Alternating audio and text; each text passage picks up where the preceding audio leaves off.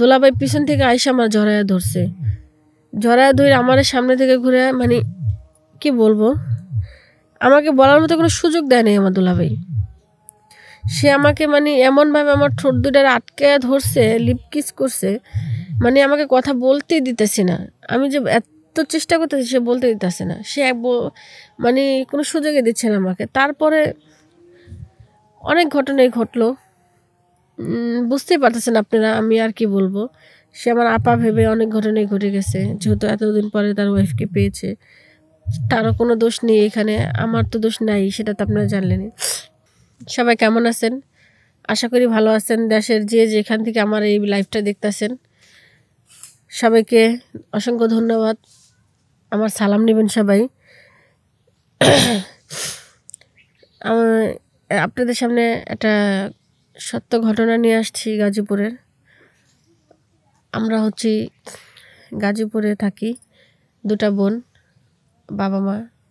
আমাদের খুব সুন্দর একটা সংসার, দুটা বোনের মধ্যে আমি ছোট, আমার বোন বড়। আমরা দুটা বোন খুব মিশুক। আর মজার ব্যাপার হচ্ছে কি, আমার বোনের নাম হচ্ছে সুইটি, আমার নাম হচ্ছে বিউটি। আর আমরা দুইটা বোন হচ্ছে জমজ দেখতে সেম একই রকম। যে দেখবে সেই বলবে যে মানে আমাকে দেখলে মাঝে মধ্যে বলে সুইটি ওরে দেখলে বলে বিউটি আবার ওরে বলে বিউটি আমাকে বলে সুইটি মানে কেউ বলতে পারে না মানে আমাদের মধ্যে কোনো অমিল কিছুই নেই। সব দিক দিয়ে আমাদের মধ্যে মিল আছে। তো সেক্ষেত্রে আমার বোনের একটা ছেলের সাথে রিলেশন করে। তো রিলেশন করার পরে কলেজে যখন উঠছে, তখনকার রিলেশন করে। রিলেশন করার পরে অনেক দিন ভার্সিটিতে শেষ করে আর যখন মানে বাবা মা বিয়ের জন্য চাপ দিচ্ছে, তখন কেউ ছেলে কথা বাসায় বলছে। বলার পরে বাবা মা দেখছে, দেখে বাবা মা বলতেছে আচ্ছা ঠিক আছে, ছেলের সাথে তোকে বিয়ে দেবো। তো বলছে যে, ছেলের ফ্যামিলিকে আমাদের বাড়িতে আসতে বল, তাহলে তো আমরা বিয়ে দেবো। তো ও যা ছেলের ফ্যামিলিকে জানায়, জানার পরে ছেলে ফ্যামিলি আসে, কথাবার্তা বলে মানে দুজনের ফ্যামিলির সাথে দুজনের ফ্যামিলি মিলে যায়। যাওয়ার পরে মানে বিয়ে ঠিক হয়। আমার খুব আনন্দ হচ্ছিল যে আমার বোনের বিয়ে। আমি খুব মজা করব, সাজগুজ করব, শাড়ি পরবো, খুবই আনন্দ হয়েছে তো সেই ক্ষেত্রে আমি অনেকই মজা করছি, বিয়ের মধ্যে অনেক মজা হয়েছে আমি যেরম যেরম চেয়েছি ওরকমই হয়েছে। খুব মজা করে আমাদের, আমার বোনটার বিয়ে হয়েছে তারপরে দুলাবাই বাসায় যখন গেছে মানে দুই, তিন মাস পরে বোনকে আমরা নায়র আনতে গেছি। নিয়ে আমার, আমাদের বাড়িতে নিয়ে আসছি বোনকে। নিয়ে আসার পরে বোন, আমার বোন খুব সুখী ওই বাড়িতে। ও শ্বশুর, শাশুড়ি, ননদ, ভাসুর, দেবর সবাই ওকে খুব আদর করে, অনেক আদর করে। আমার বোন সবসময় আসলে বলতো, ওদের খুব গল্প করতো আমার বোন। আমার বোন ওদের খুব গল্প করতো। ওদের এত প্রশংসা করতো যা বলার বাইরে। ওর মুখের থেকে ওদের শ্বশুর বাড়ির ফ্যামিলির প্রশংসা শুনে আমার বাবা মা খুব খুশি হতো। কিন্তু কখনো বদনাম শুনিনি আমার বোনের মুখে থেকে। সবসময় শোনামি বলতো। কারণ হয়তো ভালো আছে দেখি আমার বোন ভালো বলে। খারাপ থাকলে খারাপ বলতো। মানে সেটা ওর ব্যক্তিগত ব্যাপার। ও সংসার করে, ও মানুষের সাথে, ওদের সাথে থাকে, ও বুঝে কে কেমন। আচ্ছা যাই হোক। তারপরে আমার বোনের সাথে কথা বলা প্রায়, আমার বোন প্রায় চার পাঁচ মাস পর আমাদের বাড়িতে আসে। আব্বু যা নিয়ে আসে ওকে। আসার পরে সপ্তাহখানিক থাকার পরে দুলাভাই আসে। দুলাভাই আসে, তাও দুলাভাই আসছে সন্ধ্যার পরে। কারেন্ট চলে গেছে ওই টাইমে তো দুলাভাই জানতো না যে আমরা জমজ কখনো দুলাভাইয়ের সামনে একসাথে দুবোন আসতাম না। আর আমি যে তারটা শালিয়ে আসছি সেটা সে জানে। কিন্তু কখনো আমি তার সামনে জানি কারণ এটা সারপ্রাইজ ছিল দুলাভাইয়ের। আর দুলাভাই ঢাকা থাকতো তো, তাই আমাকে কম দেখছে দুলাভাই। আর আপুরে বলছিল, বাপু, তুই কখনো দুলাভাইরে বলবি না। একসাথে হব দুলাভাইয়ের সাথে তখনকে আমরা বলব? দুলাভাই বেশি একটা আমাদের বাড়িতে আসতো না। কারণ দুলাভাইয়ের প্রচণ্ড কাজের চাপ ছিল। সে অফিসের ম্যানেজার ছিল তো, তার উপরে দায়িত্ব ছিল। সে ঢাকা থেকে সহজে আসতে পারতো না। আসলেও বোনের ওনাদের বাড়িতে আসতো, আমাদের বাড়িতে সময় দিত না। তো আব্বু এবার খুব রিকোয়েস্ট করছে। অনেক শীত পড়ছে, শীতের মধ্যে জামাইরা শ্বশুর বাড়িতে বাড়িতে আসে, পিঠা মুঠা। এই কারণে মানে আরও নতুন জামাই। তো ভাইয়ারে অনেক রিকোয়েস্ট করার পরে ভাইয়া আসছে। আসার পরে তো, তারপরে কারেন্ট চলে গেছে, দোলাভাই যখন আসছে তখন কারেন্ট চলে গেছে। তো আমি আর আপু একই রকম ড্রেস পরছি। আপু ভিডিও কলে দুলাভাইয়ের সাথে কথা বলে দেখাইছে কোন ড্রেস পরে। তো আমি আর আপু একই রকম ড্রেস পরছি। দুলাভাইকে বলে নাই যে আমরা দুন বোন একই রকম ড্রেস পরছি বা আমাদের দেখতেও একই রকম। আপু যেভাবে সাজুগুজু করছে, আমিও ঠিক ওইভাবে সাজুগুজু করছি। মানে দুলাভাইকে চমকায় দেবো এই জন্য। কি ওনাকে চমকায় দিব কি? সেক্ষেত্রে আমি নিজে চমকায় গেছি। মানে বলে না, হঠাৎ করে বোম ফুটলে যেমন অনেকে ভয় পাওয়া যায়। তো সেই ক্ষেত্রে মনে করেন আমি ওরকম হয়ে গেছি।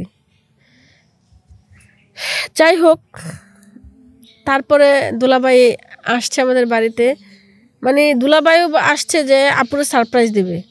আসার কথা দুই দিন পরে সে জায়গায় দুলাবাই দুদিন আগেই চলে আসছে। তো আপুকে সারপ্রাইজ দেবে। আমি আমি আর আপু বসেছিলাম পর আপু বলে কি যে, তুই বস, আমি আসতেছি। আম্মা ডাক দিছে পর আম্মার কাছে গেছে। তো ও, ওর শ্বশুর শাশুড়ি কল দিছে, তো সেখানে ও কথা বলতেছিল। তো আমি আবার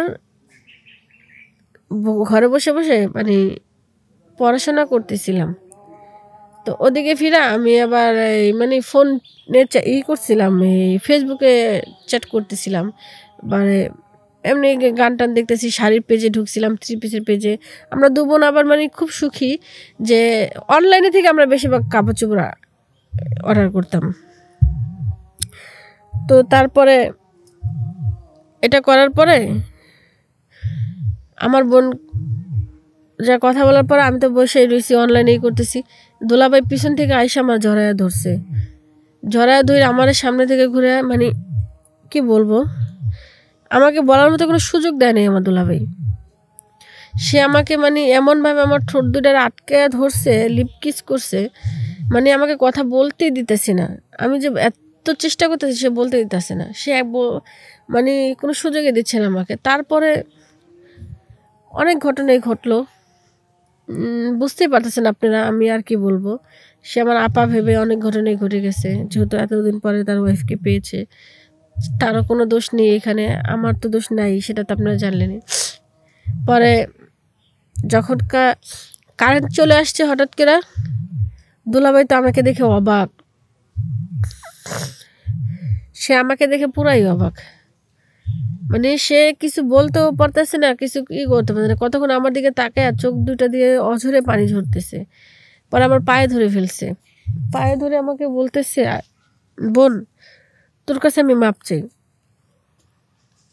আমি যা করছি, আমি তোর আপাকে ভেবে করছি। আর অন্ধকারের মধ্যে আমি খেয়াল করিনি। পরে আমি বললাম যে, দুলা ভাই, আমি এখন কি করব। পরে দুলাভাই আমার পায়ে ধরে অনেক কাকুতি মনতি করতেছে, অনেক কান্না করতেছে। পরে চিন্তা করলাম, আমি যদি এই কথা কারও কাছে বলতে যাই, তাহলে আমারও মান সম্মান চলে যাবে আর দুলাভাইয়েরও মান সম্মান চলে যাবে আর আমার আপার সংসারটাও নষ্ট হয়ে যাবে। তো আমি চাই না আমার আপার সংসারটা নষ্ট হয়ে যাক। তো সেই ক্ষেত্রে আমি কাউকে কিছু বলি নাই দুলাভাইরে বলছি আচ্ছা ঠিক আছে, আমি কাউকে কিছু বলব না। পরে দুলাভাই ঠিকঠাক হয়ে বসছে, পরে আপার যা খবর আপা দুলাভাই আসছে, যা রুমে যা। আমার লাইফে যে এত বড় একটা ঘটনা ঘটে যাবে, আমি কখনো বুঝতে পারিনি। সত্যি কথা, মানুষ মানুষ মারতেই ভুল হয়। তো সেই ভুলটা নয় আমারও হয়েছে বাট আমার দুলাভাইয়েরও হয়েছে তাকে তো আর আমি এখন কিছু বলতেও পারতেছি না, কিছু করতেও পারতেছি না, কি বলব তাকে আমি? বলার মতো কোনো ভাষা আমার কাছে নেই। একটা কথা কি, মানুষ না জেনে ভুল করলে তাকে ক্ষমা করে দিতে হয় বলে। আর জেনে শুনে ভুল করলে তো তাকে ক্ষমা করা যায় না। আর আমার দুলাভাই সেটা না জেনেই ভুল করছে। সে আমার হাতে পায়ে ধরছে, কান্নাকাটি করছে। এখানে তো তার কোনো ভুল নেই, আমি তার কোনো ভুল দেখতেছি না। তারপর আপনাদের কাছে আমি এইটুকুই বলতেছি যে আপনারা কোনো বাজে কমেন্ট করবেন না। যে হ্যাঁ দুলাভাইয়ের সায় আছে শালিরও সায় আছে এখানে কারও কোনো ই নেই। অন্ধকার রুমের মধ্যে কারেন্ট চলে গেছে সে আমাকে খেয়াল করেনি। আচ্ছা, যাই হোক যেটা হবার হয়ে গেছে। তো আমি বলি যদি যমজ বোন কেউ থেকে থাকেন অবশ্যই একটু সাবধানে থাকবেন। কখনো এরম ভুল করবেন না কারণ একটা ভুলের জন্য আজীবন কান্না করতে হয়। ভুল হয়ে গেলে কান্না করবেন ভুল না হলে তার কান্না করবেন না। তো সেই কারণে সেফটি থাকা ভালো। যার যারভাবে সে সে সেফটি থাকেন। আর বোন যদি একজন বিয়ে হয়ে যায়, তাহলে আরেকজন মানে একটু সেফটি থাকতে হয়। তো আশা করি আমার কথাগুলো যদি কারও ভালো লেগে থাকে, তো ভালো। আর যদি খারাপ লেগে থাকে, অবশ্যই বলবেন যে খারাপ লাগছে। কিন্তু কেউ বাজে কোনো আমাকে খারাপ কমেন্ট করবেন না হ্যাঁ? আমি আর কিছু বলতে পারতেছি না, আমার ভালো লাগতেছে না, এখানেই রাখলাম। সবাই ভালো থাকবেন, সুস্থ থাকবেন, আশা করি। আল্লাহ হাফেজ